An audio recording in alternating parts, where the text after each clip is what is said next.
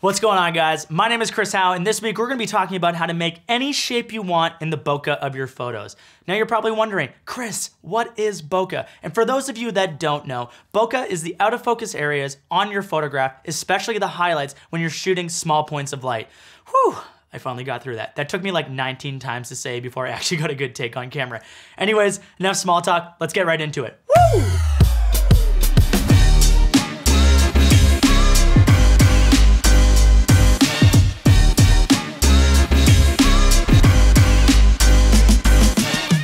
So I'm gonna keep this tutorial nice and short for you today so you can get right into this. Essentially, here are the items that you're gonna need. You're gonna need a camera body, you're gonna need a lens. Today, I'm gonna be using the 90mm macro lens from Sony, but you can use anything from 35 millimeters and up. Highly recommend something in between 35 mil and 100 mil. The second item that you're gonna need is an X-Acto knife. Yes, and be careful with the X-Acto knife because you definitely could cut yourself when you're cutting out the image or the shape on the piece of paper. Obviously, the next item that we're gonna need is a piece of black paper paper. Now, in this case, I'm gonna be using Digimon cards because this was the thickest paper I could find in my house right now. So unfortunately, Elecmon, you're gonna get cut out today.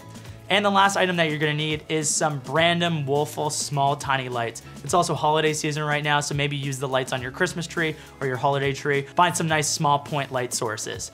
All right, those are all your items. Let's get into building this now. Now let's cut out the shape in our Digimon card slash black paper. Now, unfortunately, Elecmon, you are gonna be the sacrificial lamb today for this tutorial.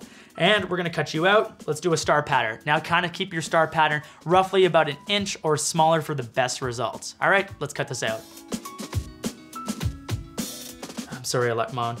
I just didn't want to find you in like 10 years in my house and then just throw you out. Today, you're actually gonna serve a purpose. All right, now that our pattern is cut out in our card slash piece of paper, we're gonna place that card slash piece of paper in front of our lens. Now make sure you're blocking out as much as the lens as possible to not let any light spill in.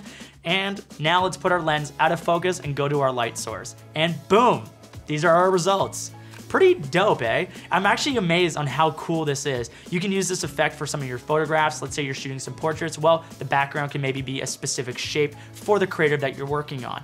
I like to use them with clients. Let's say you have a client logo. We'll cut out the client logo and maybe implement it into the video somehow so that it actually kind of incorporates with that brand. Ultimately, this is a small little tutorial for you to enjoy. Go out there, try your own shapes, try bigger lenses, try to see if you can create anything else. But this is just a fun little bokeh technique that you can apply on your next project. If you guys saw some value in this, please press that like button. It actually makes a difference. Subscribe, would love for you to join along, and we'll catch you next time. Peace out, everybody. Woo!